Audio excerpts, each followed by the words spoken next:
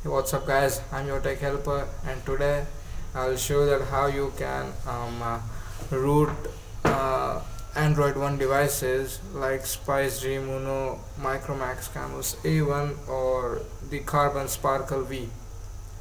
So first of all we gonna need a device. And open the back panel because if something goes wrong you can just pop off the battery and pop it in again next thing you will need is recovery which is here. I'll provide a link in the description so that you can see the recovery. Then we will need minimal ADB and fast boot. Be sure that all the drivers are installed so that there is no problem installing or rooting the phone. So run minimal ADB and fast boot but before that uh, this will be the code to flash the kernel or the recovery. Copy the recovery in C or wherever you have installed minimal ADB and fastboot program like I have installed in C.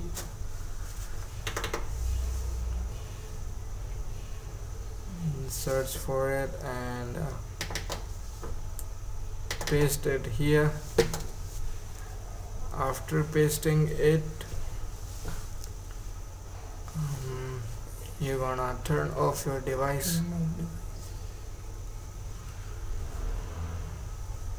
While it is turning off be sure that you have your respective phone's stock firmware so that if anything goes wrong you can flash it again and the drivers should also be installed correctly.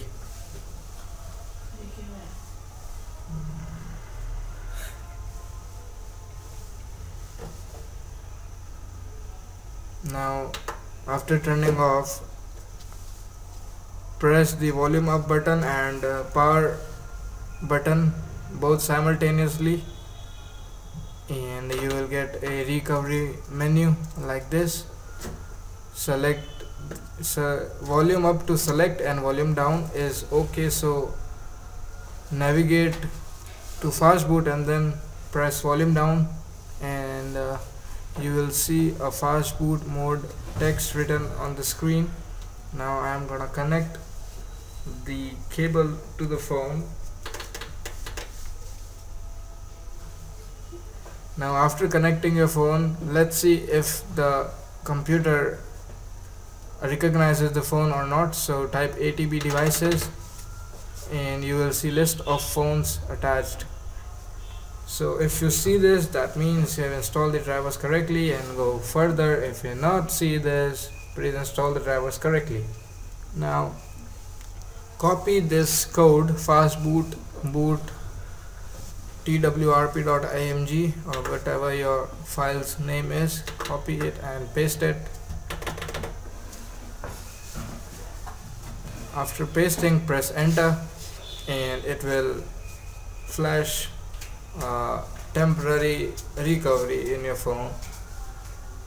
I also saw this guide on XDA so thumbs up who created this thread. Now go to install and uh, locate your super user zip.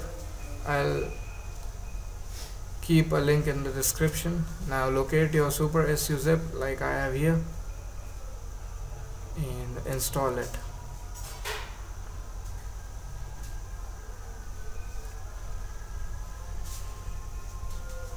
Now it's installed.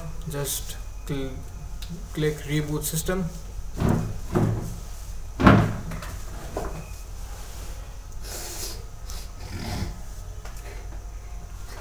let your device boot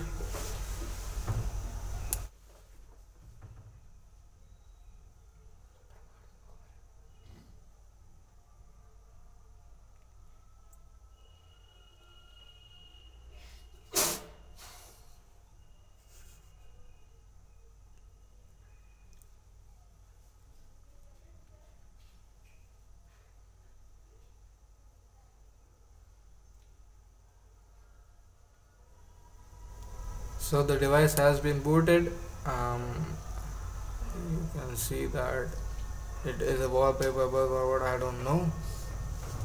Let's just open it and set the wallpaper again so that we can see if it is a bug or it has happened because we rooted the phone. So I think this was just a bug. I don't know. What was it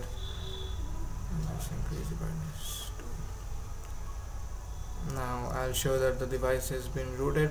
You can see super SU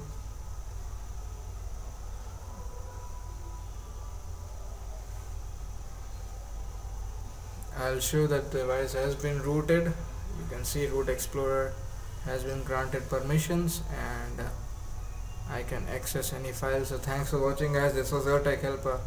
Please subscribe me and uh, thanks for watching